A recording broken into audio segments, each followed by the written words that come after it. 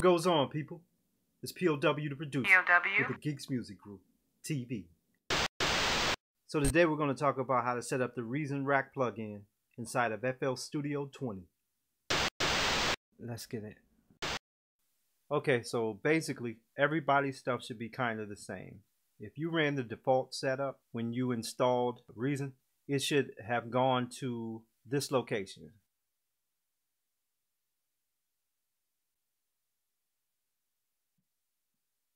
It would be your C drive, program files, Propellerhead, and then you'll see Reason 11 inside there.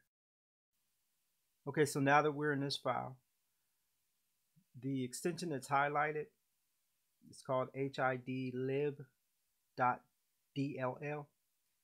We're going to right click on that. We're going to hit copy. I've already done this step, so I'm not going to do it, but just hit copy. And then we'll move to the next step. Okay, so we're going back to um, the Windows C drive. Um, going back into the program files. We're going to go down to common files. Scroll all the way down to where you see VST3. Right click and then you'll hit paste. Um, I'm not going to do that only because as you can see mine's is actually there. Then we're going to go into FL Studio.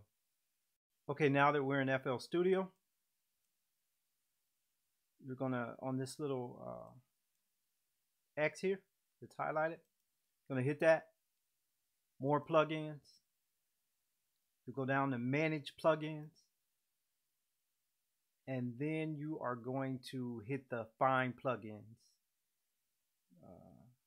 And it'll scan, scan, scan, let it scan all the way through until it's totally complete. And then you will see at the very end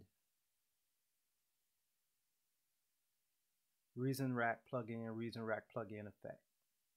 All good.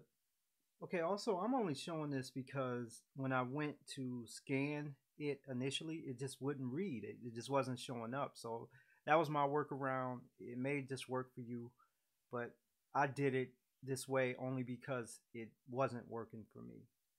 Um, hope this helps. Peace.